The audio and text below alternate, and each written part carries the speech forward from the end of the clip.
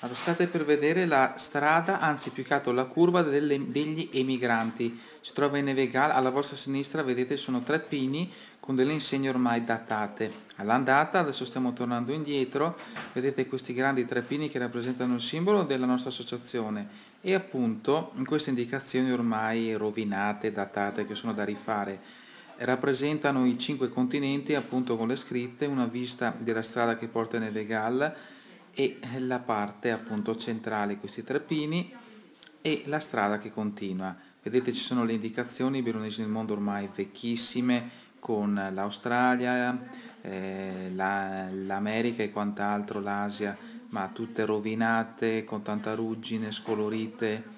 È tutto da rifare, si tratta di capire che tipo di progetto grafico, c'è anche una bandiera da cambiare e da fare una pulizia generale anche della parte sottostante anche la bandiera appunto da cambiare, vedete che è anche all'interno degli alberi, non si vedono più, quindi capire dove si possa posizionare anche il palo con la bandiera stessa che rappresenta ovviamente l'Italia. Un'altra vista, i tre pini, quindi c'è questo centro, questo cerchio con la scritta Veronesi del mondo e cinque cartelli. Tutto qui.